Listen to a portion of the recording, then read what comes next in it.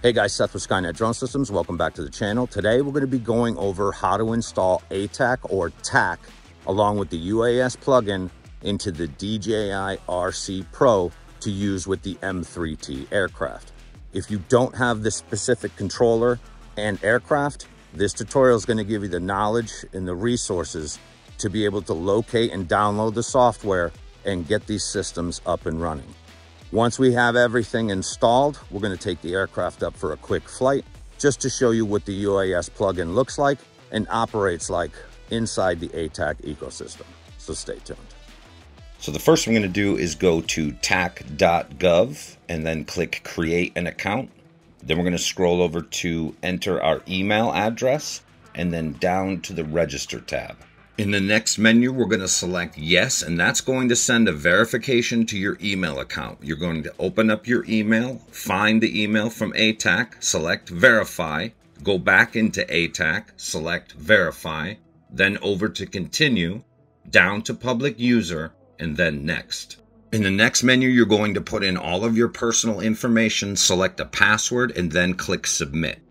Then we're going to click login. That's going to take us to a screen where we're going to enter our email along with our password. Now to use the ATAK website, we're going to need to do a two-step authenticator. And for this, we're going to use Google. So we're going to open our phone, find or download Google Authenticator. And then once we log in to ATAK, you're going to see a QR code. We're going to open our Google Authenticator and we're going to scan the QR code.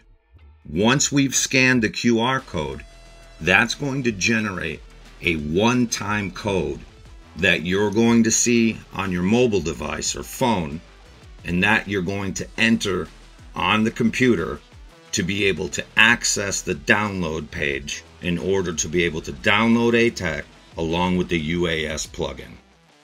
Then we're going to scroll down and name the device and click submit. Once you click submit, you're going to be signed in successfully and be able to scroll up to products and then down to ATAK Civ. Click that. Now you'll be taken to the most up-to-date version of ATAK along with any associated plugins. We're going to scroll down to the third menu and select download ATAK Civ product plugins. We're going to select the second ATAK Civ 5.1 and then you can choose plugins that you'd like to add but make sure you scroll all the way down, find the UAS plugin, make sure that's checked, and then scroll down and click submit. Then we're going to scroll up to the top right corner and just check to make sure that our downloads are going through. Now we're going to download DTED or Digital Terrain Elevation Data. We're going to go to Reddit in the address at the top of your screen in the red bar. And then we're going to scroll down to downloading elevation data. We're going to select option one, and then we're going to click download. Now we're going to take our micro SD card out of the RC Pro, put that in an SD card reader, plug that into the computer, and then we're going to load ATAK, the UAS plugin, and the digital elevation terrain data onto the micro SD card. Now we're going to check to make sure our files are on our micro SD card. We're going to exit out of these tabs. We're going to eject our SD card reader. Then we're going to pull the micro SD card out and load that into the RC Pro.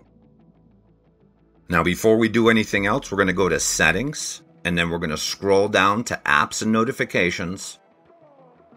And we're going to scroll down to auto start application. We're going to change that to none. This is going to allow you to choose between ATAK Go version 5 or Pilot 2 in order to operate the aircraft going forward. Now we're going to go back to the home screen. We're going to select files. Then we're going to scroll up to the top left hand corner and change the storage to our micro SD card. Once we've done that, we're going to scroll down, find our files. We're going to select that. Then we're going to double click the ATAK Civ Release Pack and the ATAK plugin UAS tool. In some systems, you may have to import the UAS tool along with the DTED data. I'm going to show you that in the next step. You're going to let ATAK install and then click the icon to open the program. We're going to scroll up to the top right and select these three lines to open the drop down menu and then select import. then local SD, and then we're going to check DTED World Zip and then click OK. Then we're going to click on the micro SD card icon, scroll down to the ATAK plugin UAS tool. We're going to check that box and then select OK. Once the UAS plugin is installed, you're going to see a menu pop up to give you options to download flight software that's going to replace Pilot 2 as the operating system for the aircraft. If you have an Enterprise Edition aircraft, you're going to want to download ATAK Go V5. If you have a Consumer Edition aircraft, you're going to want to download ATAK Go. In this case, we're going to be selecting ATAK Go V5 and then we're going to click OK. Once that software is installed, we're going to go back to the main screen, click on our three lines to open our drop down menu, scroll down to plugins. We're going to check ATAK Go is installed in current and the UAS tool is loaded in current. We're going to reopen our drop down menu, scroll down to settings, and then we're going to scroll down to tool preferences, specific tool preferences, and then we're going to scroll down until we see UAS tool preferences. We're going to select that Default platform detection is DJI V5.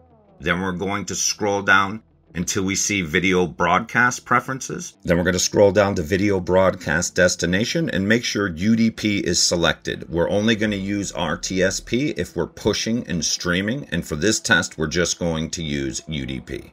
Then we're going to scroll up to the top left and go back to the UAS tool preferences. Then down to DJI V5 platform preferences. Then we're going to scroll down and check and make sure that both of the boxes associated with the M3T are checked. Then we're going to exit all the way back to the main screen. We're going to open our drop down menu and we're going to scroll down to the UAS tool. Once we click that, you're going to click open and then scroll over, log into your DJI account. And then for this, I'm just going to return to the UAS tool to check and make sure our systems are up and running.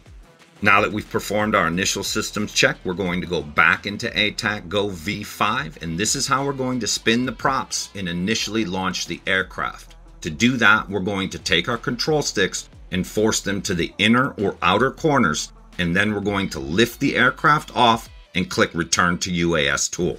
Then this is how we're going to control the aircraft for the duration of the flight.